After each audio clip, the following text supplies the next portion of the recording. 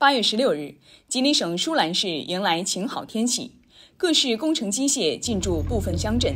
基建材料堆放在路旁，当地已经启动灾后住房重建工作。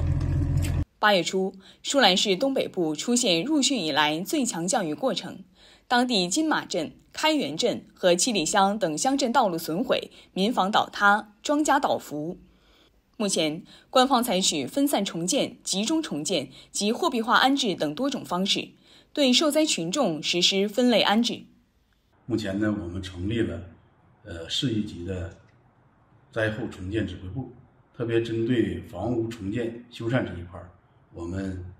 呃制定出台了专业的实施办法，呃吸纳了这个专业设计部门、水利地质专家以及乡镇干部。和熟悉当地实际情况的村民，啊，为这个专家组科学研判，确定了以人为本、科学重建的工作思路，具体开展工作。呃，具体的方法是分为分散重建、集中重建和货币化安置三种方法。呃，计划是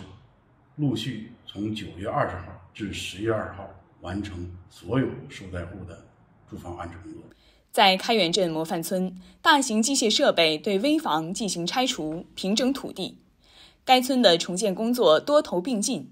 鉴定、协商、破拆、建设同时进行，以提高重建效率。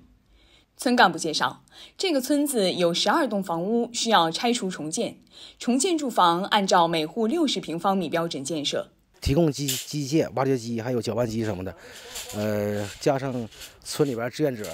还有那个呃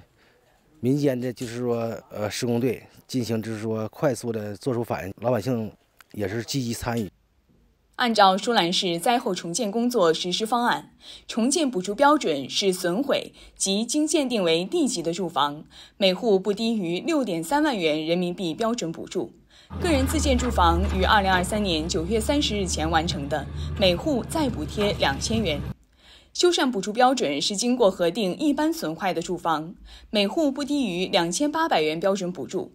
鉴定为 C 级的住房，享受建筑节能政策。此外，根据受灾群众意愿，可在重建的六十平方米住房标准上增加建筑面积，多出面积所需建设费用由受灾群众自行解决。